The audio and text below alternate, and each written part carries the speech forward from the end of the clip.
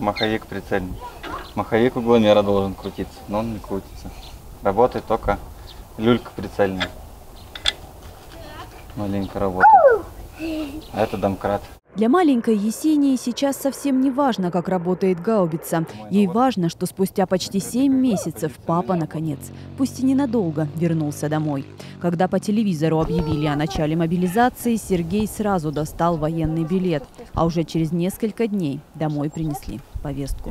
Первым, что я начала делать, ну, это, наверное, на эмоциях было как-то. Я начала просто собирать мужу теплые носки. А нашла какие-то даже старенькие, как вот сейчас помню, и села сшить их.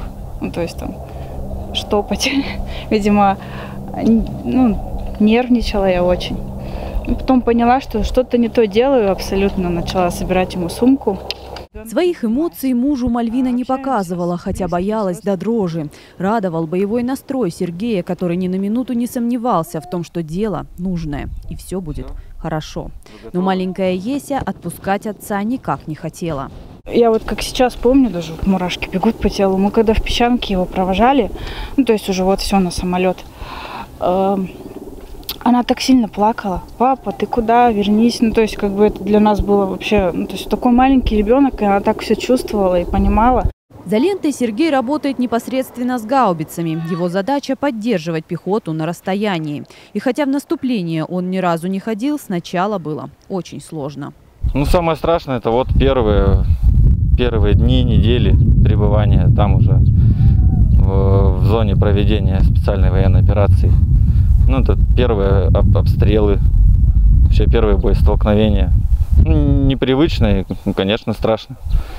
Но приходилось пересиливать себя, переступать через себя. Но привыкаешь ко всему. Пережить трудные моменты всегда помогала поддержка любимых, которая не дала Сергею за это время растерять позитивный настрой.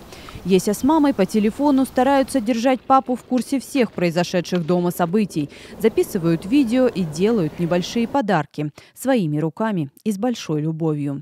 Вместе они научились жить по-новому. Вместе они дождались этого отпуска. И вместе готовы сражаться дальше. Давай. Папа любишь? Да. Так любишь? Вот так.